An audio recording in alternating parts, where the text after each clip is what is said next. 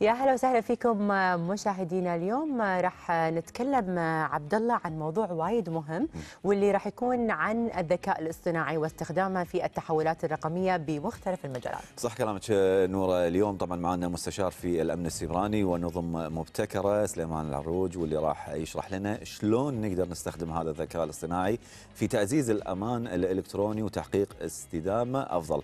حياك الله معنا في مساء الخير يا كويت. الله يحييكم الله يعطيكم الصحة والعافية. شكرا على استضافتكم هذه ونمسي على السادة المشاهدين بالكامل. وأكيد اللي قاعد يستخدمون منصة 51 بحكم أن هذه المنصة شاملة اللي تغطي جميع برامج تلفزيون الكويت. فالله يعطيكم الصحة والعافية. قواك الله. الله يكرمك أكيد إحنا ودنا نتكلم عن دور الذكاء الاصطناعي في تطوير نظم المعلومات وأيضا التكنولوجيا في التحولات الرقمية بما أنك متخصص. اليوم آه، كمختص في الذكاء الاصطناعي آه، سابقا كنا نسمع عنه كمصطلح وما كان في استخدامات كبيرة بالذكاء الاصطناعي بس خلال الست إلى ثمان شهور الماضية بدولة الكويت صار في استخدامات كبيرة للذكاء الاصطناعي ومنها تحليل البيانات حلو. استخدامها لتحليل البيانات يعزز ويساهم بقية الأنظمة السابقة إن هي تكون مواكبة أكثر للحضارة والتقدم الرقمي بشكل متسارع فاليوم دولة الكويت مساهمة بشكل كبير من هذه النواحي. جميل جميل سليمان شنو أهمية استخدام الذكاء الصناعي في تحسين أداء نظم المعلومات؟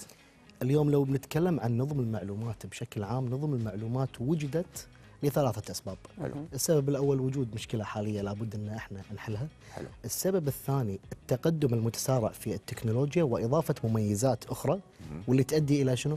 تسهيل العملية سواء على الموظفين سواء على المراجعين سواء على جميع المستخدمين على كافة الأصعدة. فاليوم وجود هذه الأنظمة واستخدامات البرامج وتحديثها يساهم في حل هذه الثلاث مشاكل في نظم المعلومات. وهذه يعني ال- الثلاث اتجاهات خلينا نقول يعني ما هي هينة في أكثر من تخصص وأكثر من مجال. وأكيد إحنا ودنا نواكب العالم يعني. كان قبل شوي نسولف إن ما شاء الله في الصين تم افتتاح مستشفى طبي كامل ب- بالعاملين بالأجهزة كل المستشفى والقائمين عليه عبارة عن ذكاء آه، اصطناعي. فإحنا لازم أكيد بالكويت نواكب هذا التطور. ودي أعرف إن شلون ممكن هذا الذكاء الاصطناعي آه، يساهم في تطوير نظم المعلومات بطريقة إنه يعني تضمن لنا هذه الاستدامة والكفاءة والجودة العالية. اليوم لو نتكلم عن الاستدامة بشكل أدق والحفاظ على البيئة والبصمة ال- الكربونية إحنا عندنا كنظم معلومات مصنفة إلى أكثر من جهة وأكثر من وزارة وأكثر من اهتمام. حلو. سواء على صعيد آه، وزارة التربية ووزارة التعليم العالي أيضا استخداماتهم منفصلة. وزارة الصحة كقطاع طبي متكامل لهم استخدامات أخرى. ونتكلم عن الاستدامة كتوجهات خاصة في هيئة البيئة أو شركات أخرى قاعد تقوم باستخدام الذكاء الاصطناعي للاستدامة وتخفيف البصمة الكربونية. اليوم في أحد أهم ال- الأنظمة اللي يتم استخدامها نظام تدوير. نظام تدوير هذا النظام يجمع ما بين المصانع اللي تقوم بعملية إعادة تدوير وأخذ النفايات من جميع الوزارات أو الهيئات اللي موجودة أو أيضا الشركات الكبرى والمجمعات اللي موجودة بدولة الكويت. يتم أخذ هذه النفايات أجلكم الله ويتم آه، إعادة تدويرها مع هذه المصانع بحيث أن إحنا اليوم نقوم باستخدام هذه الأمور بشكل منفصل بشكل آه، منفصل عفوا. آه، لو نتكلم عن زيت الطبخ على سبيل المثال اليوم زيت الطبخ في دول العالم يتم بيعه ويتم إعادة تكريره كبنزين عضوي واستخدامه بهذه الاستخدامات. حلو. فاليوم هم أحد المنصات اللي موجودة ويتم استخدامها هي منصة تدوير. قائمة حاليا على ممتاز. هذا المجال كتخفيض أو تخفيف للبصمة الكربونية وهذا كله كان بفضل الله سبحانه ثم بفضل استخدام وسائل نظم المعلومات والذكاء الاصطناعي بشكل أدق جميل كونك مختص سليمان شلون تتوقع تطور استخدام الذكاء الاصطناعي في إدارة وتحليل البيانات ضمن نظم المعلومات والتكنولوجيا؟ أشكرك على هذا السؤال. أمانة حاليا أو خلال السنة اللي فاتت وما زلنا على تنسيق مع جهات الدولة حلو. أهمهم قوة الإطفاء العام. اليوم قوة. الإطفاء العام وطبعا نمسي عليهم بالخير.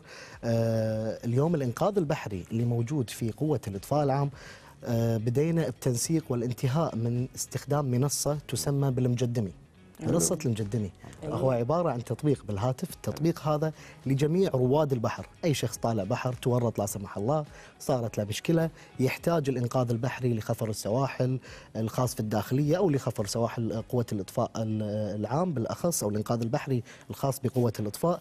يساهم ال- الخفر يروح ويوصل للي محتاج المساعدة بشكل أسرع. إضافة إلى هذا. اليوم استخدام الذكاء الاصطناعي في منصة المجدمي. الاستخدام هذا راح آه، يفتح لنا شغلة من اللي إحنا نسميها الهيت ماب. أو الخريطة أو الخارطة الحرارية. نفس اللي أكيد الكل يستخدمها في برامج وسائل التواصل الاجتماعي. الخريطة هذه تقول لك أكثر الناس اللي يكونون محتاجين خفر سواحل وأنقاذ موجودين بكبر. حلو. ممكن بعضهم بعوها بعضهم بوربة. فاليوم يتم استخدام هذه المنصة و... و... والانتهاء من التنسيق فيها مع جميع القياديين وإدارة نظم المعلومات بالأخص ب... في قوة الإطفاء العام باستخدام. المنصة هذه وتجربتها الحين على القوارب اللي خاصة فيهم إضافة إلى هذا على استخدامها في جميع جزر الكويت آه، آه، ال- اللي موجودة في البحر الإقليمي وأيضا آه، المساهمة في إيجاد المشاكل اللي ممكن تواجه الناس على سبيل المثال القارب هذا أو القوارب الأكثر اللي موجودة بها قاعد تطبع. اذا في خلل. فوجود برامج الذكاء الاصطناعي المدعومة داخل المجدمي تعطي استباقية. تعطي استباقية أسرع وحل لجميع المشاكل اللي ممكن تكون موجودة آه، في البحر، على سبيل المثال المرابط اللي موجودة، هل هي تكفي أم لا؟ وجود الخريطة الحرارية تقول لي مدى تبين. وجود حلو. الأشخاص ال- أو الكثافة اللي تروح من رواد البحر إلى بعض الجزر اللي موجودة. فاليوم استخدامات الذكاء الاصطناعي حلو متنوعة ممكن ينقذون ناس أكيد وأرواح في هذا المكان لا سيما في البيئة البحرية عندنا. إحنا الحين تقول لي إن في بيانات وفي تحليل للبيانات، إذا شلون إحنا نضمن من خلال تطبيقات هذا الذكاء الاصطناعي بشكل آمن وفعال في نظم المعلومات وأيضا التكنولوجيا خصوصا في المجالات الحساسة. اليوم هذا سؤال- الموضوع إنه نعم، لازم موضوع جدا حساس وموضوع آه، موضوع مهم. التكنولوجيا اليوم إذا نحتاج شغلة واحدة فيها عشان نطورها نحتاج إلى داتا هي المعلومات.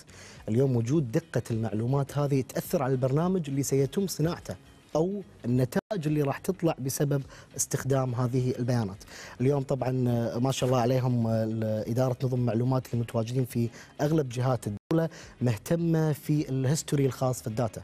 فاليوم في أحد الأدوات المهمة في البرمجة تسمى بال ETL extract transform and load اللي هي أخذ أو آه، آه، وتحويل ووضع البيانات هذه. ناخذ البيانات القديمة بالكامل يتم تنظيفها يتم تعديلها يتم وضعها في جداول معينة مخصصة لمشكلة ما.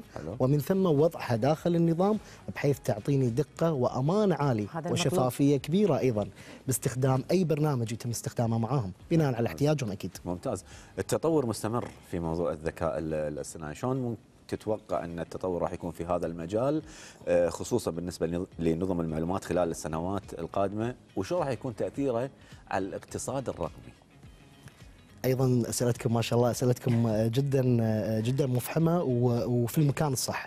اليوم دول العالم كلها يعني تتوجه بشكل كبير من أكثر من 20 سنة تقريبا أحد أهم مؤتمرات العالم اللي تكون موجودة في دبي يسمى بجايتكس. فمؤتمر جايتكس نفسه أحد المؤتمرات اللي إحنا نحرص بشكل مستمر على حضورها وانتهى من ثلاث أيام تقريبا. فكانت هذه الأسئلة آه، آه، والمؤتمرات موجودة لخدمة الاقتصاد الرقمي حلو. اليوم الاقتصاد الرقمي عشان نقدر نسوي ونعزز آه، مدخول الدولة كإيراد غير نفطي وهذا توجه آه، مجلس الوزراء الكويتي اليوم آه، صار في توجه كبير لتعزيز إيراد الدولة الخاص باستخدام أي شيء آخر باستخدام الذكاء الاصطناعي أو البرامج أو ايا كان في التكنولوجيا لتعزيز إدخال الدولة وإيراد الدولة الغير نفطي. ولكن جوابا على سؤالك هذا اليوم آه، آه، الاستخدامات اللي لابد منها لتعزيز التكنولوجيا هي تنبني على شغلة واحدة. بما تسمى الابتكار. حلو. اليوم لابد من الإنسان إنه يكون مبتكر عشان يقدر يحلل المشكلة، عشان يقدر يخلق نظام جديد ومستدام، نفس ما قلت لكم في بداية اللقاء اليوم الأنظمة القديمة اللي موجودة عندنا لابد إنه يتم استخدامها في الأنظمة ال- ال- في الأنظمة الحالية أو الأنظمة المستقبلية. فاليوم وجود الأنظمة هذه كخدمة سابقة لابد من تطويرها. اليوم أيضا عندنا أحد أهم التطبيقات اللي موجودة في الدولة آه، وطبعا نشكر المعلومات المدنية عليها والفريق القائم عليها، تطبيق سهل. سهل اليوم هويتي. اليوم أنا أكاد أجزم أن العديد من الناس ما راح فعل التوقيع الالكتروني التوقيع الالكتروني من أهم الأمور اللي إحنا صحيح. كنا سباقين فيها في الخليج العربي وما زلنا سباقين لو لولا أن الناس للأسف للحين ما راحت وفعلتها ولكن سيستم وزارة الصحة للتقارير وغيرها. صار عندنا. الإلكترونية أكيد أيضاً. يعني صح. صحيح إحنا استخدام الشغلة هذه كبداية لابد من آه، أرشفة ال ال ال الورق اللي موجود عندنا. آه، وجود نظام ما يسمى بال document management system لاحتواء هذه الوثائق ووجود نظام آخر لإرسال الوثائق كأنظمة تراسل وجود نظام رابع أو خامس للتوقيع الإلكترونية. اليوم ما نحتاج نوقع توقيع ورقي أو إضافة صورة على التوقيع باستخدام بعض بعض الأنظمة. اليوم الدولة قاعد تساهم في التحول الرقمي بشكل كبير. بس إحنا إن شاء الله ان نبادر معاهم. بالأكثر نروح أكيد نساهم يعني ونشغل آه، الشغل. تبارك الرحمن آه، أكيد بشبابها آه، اللي يعني عندهم العزيمة أكيد لهذه المواكبة العالمية في مجال الذكاء الاصطناعي وحتى مجال الاقتصاد الرقمي. أقول لك كل الشكر أكيد للأستاذ سليمان العروج مستشار أمن السبراني ونظم مبتكرة. أكيد كل الشكر له. أكيد شكرا له وإحنا مستمرين معاكم مشاهدينا في مساء الخير يا كويت ولكن من بعد هذا الفاصل.